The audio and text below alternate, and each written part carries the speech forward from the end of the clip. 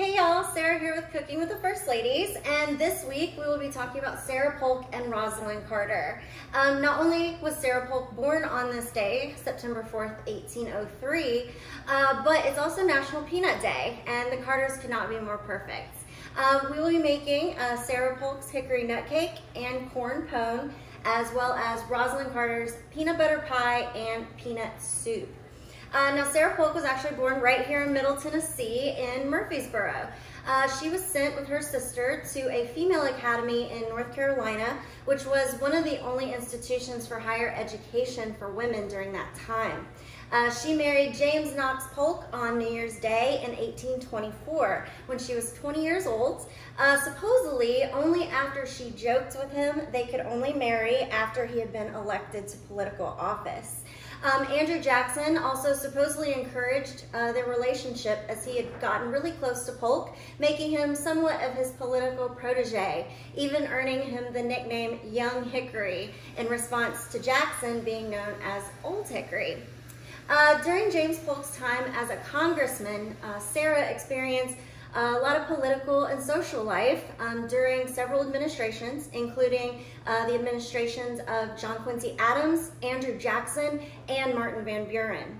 Uh, she had the advantage of having the ability to focus on James' political career and made her one of the few politicians' wives who could actually be such a part of the social circles with his political peers, um, as she did not have her own household at the time and they had no children, which was extremely rare for women during that time.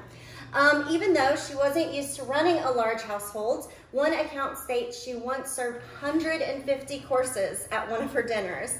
Uh, but also contrary to this, uh, she once sat down at a formal dinner and a guest had to point out that there were no napkins on the table. Um, in difference to the first ladies before her, uh, she fully supported James's political ambitions and his rise to the presidency. Uh, she also changed the lighting in the White House from candle to gas and really disliked more antiquated ideas. Um, instead, she leaned towards more technological advancements. Uh, President Polk once said of her during his term, none but Sarah knew so intimately my private affairs. Uh, she was a politician, counselor, nurse, and an emotional resource, he said. Uh, one of her disagreements with her husband, however, was over the federal banking system. Uh, unfortunately, as well, she really didn't support the women's suffrage movement as she didn't feel that she needed what they were advocating. Um, Sarah could have made a huge difference, uh, being one of the most powerful ladies at the time and the first First Lady to be outwardly political. Um, she was also very educated as well as sociable, uh, which came in handy because her husband was known as a workaholic. Uh, and many would rather talk to Sarah because of her personality. Uh, when James was elected president in 1845, uh, Sarah Polk continued to enjoy being part of politics um, and tried to help her husband with writing speeches and gave advice and with warning him of overwork would often try to lighten his load and he would often ask her to read articles, etc. to try to help him. Um, James Polk is also the only president in history to have kept all of his campaign promises. Um, he did only make four. Um, she was very, uh, Sarah was very religious as well and did not attend theaters um, or horse races or anything of that nature. And although she attended the inaugural ball, she did not dance. Uh, she also banned dancing, hard liquor, and card games at official receptions. Uh, so she was ultimately nicknamed Sahara Sarah. Although some accounts stated um, that the Polks never even served wine, uh, one dinner attendee wrote in her diary details of a four-hour White House dinner for 40 people, uh, and there was glasses of six different wines from pink champagne to ruby port, and uh, said that it formed a rainbow around each of the plates. Uh, Sarah also began the tradition for playing Hail to the Chief as the president walked in, as James was quite short and she supposedly wanted it to be known uh, that he was entering. Um, so first up, Sarah Polk's Hickory Nut Cake, which was a favorite of the Polks. Um, so in order to make uh, the hickory nut cake, you're going to preheat the oven to 350, uh, lightly butter and flour a tube pan, and then set that aside. Uh, take two sticks of butter and beat them until they're creamy and add two cups of sugar and continue to beat that until it's mixed. Uh, then add four egg yolks and mix together thoroughly. Uh, take three cups of flour, two teaspoons baking powder, a half a teaspoon of salt, and set that aside. Uh, then mix together four of the egg whites and beat it until they form peaks and set that aside. Stir one teaspoon lemon juice and one cup of whole milk into the mixture. Add the flour mix and milk mixture into the butter, butter mixture, excuse me, alternating very slowly. Uh, next, beat in one cup chopped hickory nuts or pecans. Uh, finally, fold in the egg whites until it's fully combined and bake for about 60 minutes. A little side note about hickory nuts, which were much more common uh, trees in the 1800s, uh, but they are very similar to pecans. But back in the day, it was a tradition for people to gather the hickory nuts. Uh, so you can also make a simple sugar glaze with one and a half cups powdered sugar, three tablespoons of milk, or you can use water and two tablespoons vanilla. Uh, just stir the milk in uh, really slowly until it's combined. Uh, then you can pour it on top of the cake and drizzle it. And you can add some chopped pecans or uh, some hickory nuts if you happen to find them. Uh, now, one recipe for Sarah Polk that I will not be cooking is baked robin. Uh, supposedly it was a favorite of hers um, and was served so beautifully that the bird uh, actually almost looked real. However, if you are interested, um, there's actually a recipe from a cookbook published in 1890. It says to cover the bottom of a pie dish with thin slices of beef and fat um, of bacon over which lay 10 or 12 robins, uh, previously rolled in flour, stuffed, seasoned with a teaspoon of salt, a quarter of pepper, uh, a chopped parsley, um, and some shallots. Uh, lay a bay leaf over it um, and a gill of broth and cover with three quarters of a pound of half puff taste. Bake one hour in a moderate oven. Shake well to make the gravy and the pie form a kind of sauce and serve quite hot. Um, so again, one that I am not interested in trying. Um, so just a little bit more about Sarah Polk. Uh, during their 25-year marriage, they never had any children, uh, which some believe was due to the fact that James had had a bladder stone surgery when he was young. Uh, they were actually the only presidential couple, couple to never have children while together. Uh, they did, however, raise their nephews um, after James' brother passed away, Sam and Bill, who were troublemakers, and one was eventually arrested for murder. Um, also, after her husband passed away, Sarah fostered and unofficially adopted her great niece, Sarah Polk Fall, who was nicknamed Sally. Uh, she treated her um, as her own daughter, and they actually lived together at Polk Place in Nashville until Sarah passed away in 1891. Uh, now, the Polk House here in Middle Tennessee, down in Columbia, um, has several neat pieces belonging to the Polks on display at the home. Uh, they have a fan that was carried by Sarah Polk at the inauguration uh, that has the former presidents as the pattern, um, also including James as the 11th.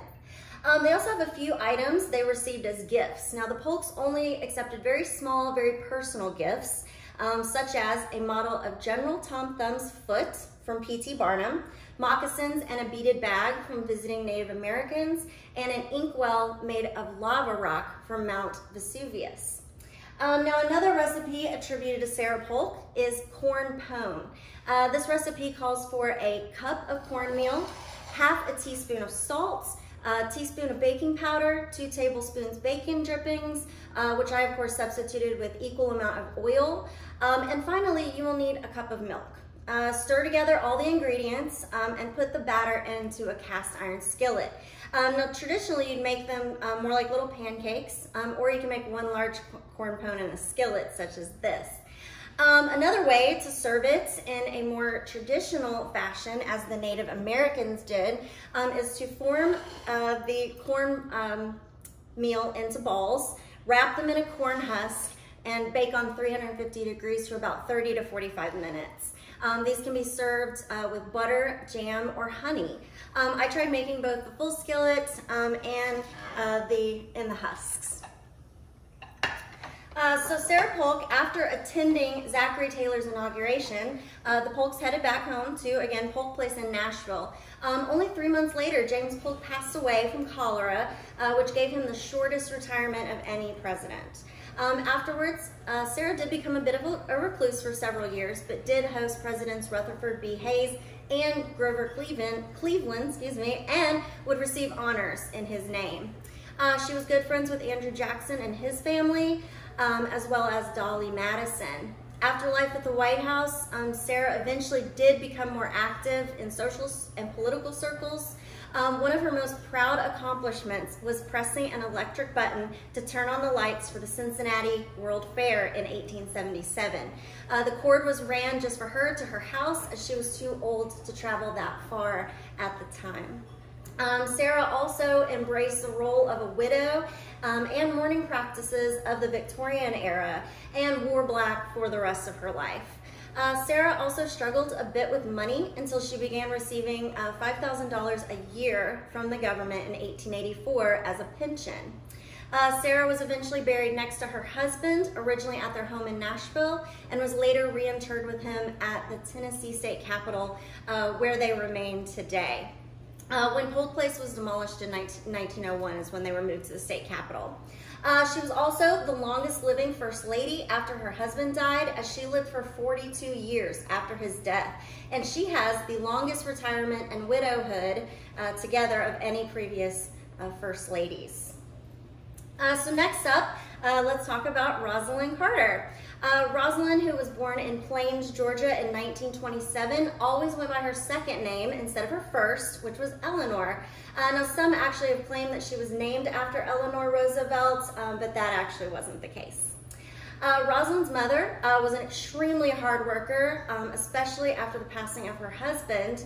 And her mother uh, worked many jobs to support the family, including dairy farming, a part-time job at a flower shop, which actually she was still working at even when the Carters uh, entered the White House and began their term there. Um, and also uh, worked in the school cafeteria and for the Postal Service. Uh, Rosalynn directly credits her excellent work ethic to her mother. Uh, she married Jimmy Carter at the age of 18 in 1946 after they had met through her friend and his sister. Uh, she initially refused his proposal, uh, thinking they had not been dating long enough, but accepted his next one a few months later. Uh, for the first seven years of their marriage, they lived in six different states uh, during his time in the Navy. Uh, so how does Rosalynn Carter tie into National Peanut Day? Uh, well, the Carter's family had always owned a peanut farm in their hometown in Georgia. And in 1953, after James, uh, excuse me, Jimmy Carter's father passed away, uh, they returned in order to take over the family peanut business. Um, so first up, Rosalynn uh, had a peanut soup uh, recipe that's kind of associated with her. Um, it's a very simple recipe with very few ingredients. So first you're gonna saute a fourth a cup uh, finely chopped onions and a tablespoon of butter until soft, uh, but not until they when they're turning brown. Um, next, stir in two and a fourth cups of milk and one can of condensed cream of chicken soup. Um, heat that up, but don't let it boil. Uh, lastly, stir in a fourth a cup chopped salted peanuts, um, and then you uh, serve that garnet and garnish uh, with peanuts, parsley, and paprika. Uh, so while we garnish, a little more about Rosalynn. Uh, she was the first candidate's wife to make a campaign promise of her own, which was that she would launch legislation uh, reform for the mentally ill. Uh, she also traveled the country for a couple years prior um, to his um, campaign in order to boost his image and help secure the nomination. Uh, when he was elected, uh, they brought back a tradition that actually had not been seen uh, since Thomas Jefferson by walking down Pennsylvania Avenue after the swearing-in ceremony to the White House. Uh, she was very candid publicly that Jimmy consulted her on political affairs and uh, that he asked her for advice on various issues. Uh, she was the very first uh, First Lady to take an office in the East Wing, which was normally used by the First Lady's staff. Uh, during her time uh, at the White House, uh, the federal government officially recognized the role of First Lady as a federal position. Uh, she was also very involved in his second campaign uh, because at the time he was dealing with the Iranian hostage crisis. Uh, unlike many former presidents and first ladies, the Carters never were interested in fame when they left the White House. they wanted a little bit more of a simple life and they returned to their hometown in Georgia. Uh, she ultimately formed the Carter Center along with her husband in 1982 in Atlanta, uh, where she has been a leading advocate for mental health, early childhood immunizations, human rights, and issues affecting women and children for decades. Uh, she's been given many awards over the years and was inducted into the National Women's Hall of Fame in 2001. Uh, today, uh, she continues her volunteer work, especially with Habitat for Humanity. And Rosalynn and Jimmy just recently celebrated their 74th wedding anniversary, uh, continuing to make them the longest uh, married presidential couple, uh, which they beat out um, from George H.W. and Barbara Bush. Uh, they have four children, 12 grandchildren, and 14 great-grandchildren. Uh, Jimmy Carter once said, Rosalynn is probably the most influential person in my life. Uh, for the next uh, and the last recipe um, is Rosalynn Carter's peanut butter pie. Uh, so first you're going to preheat the oven to 400 degrees. Uh, then mix a cup of powdered sugar and one and a half cups smooth peanut butter until it's combined, which was a little more difficult than what I thought. I suggest using a mixer. Um, set that aside. Um, in a saucepan, um, over low heat, stir together a half a cup of sugar, a fourth a cup of cornstarch, two cups of milk, three egg yolks, and an eighth a teaspoon of salt, until well combined. Uh, cook that and stir it constantly until thick, it thickens. Um, and when it has, remove that from the heat and stir in a teaspoon of vanilla and two tablespoons of butter until the butter is completely melted. Uh, set aside, um, let that cool a little bit, and then you'll prepare your meringue. Um, now to make your meringue, uh, take three egg whites in a bowl um, for your mixer and beat until the whites begin to foam. Uh, while beating, add a half a teaspoon of cream of tartar and a pinch of salt. Uh, put that on high and beat until the whites become glossy and little peaks form. Um, so then while the mixer is still running, slowly pour in three tablespoons of sugar um, and then add a teaspoon of vanilla. Continue to beat um, until you get uh, large little peaks, very stiff. Um, next, stir the peanut butter mix from earlier into the cooked filling mixture until completely combined. Uh, pour the mixture into a baked pie crust and spread meringue onto the pie filling. Uh, finally, bake that for about 10 minutes or until the meringue is lightly uh, browned. Uh, pie needs to be completely cooled before serving. Uh, this recipe was adapted from a grocery company's recipe publication, publication featuring this as Rosalynn's recipe. Um, you can also garnish with uh, chopped up Reese cups if you are a serious peanut butter lover. Um, so, uh, thanks y'all so much uh, for watching today. Uh, once again, happy birthday uh, to Sarah Polk. Um, and I hope that you'll try some of these recipes uh, for Rosalynn Carter and the Polks. Um, and you can always comment um, and let us know how you like them. Um, so here's our pie and all of our recipes. So once again, thanks y'all so much, and I'll see you next time.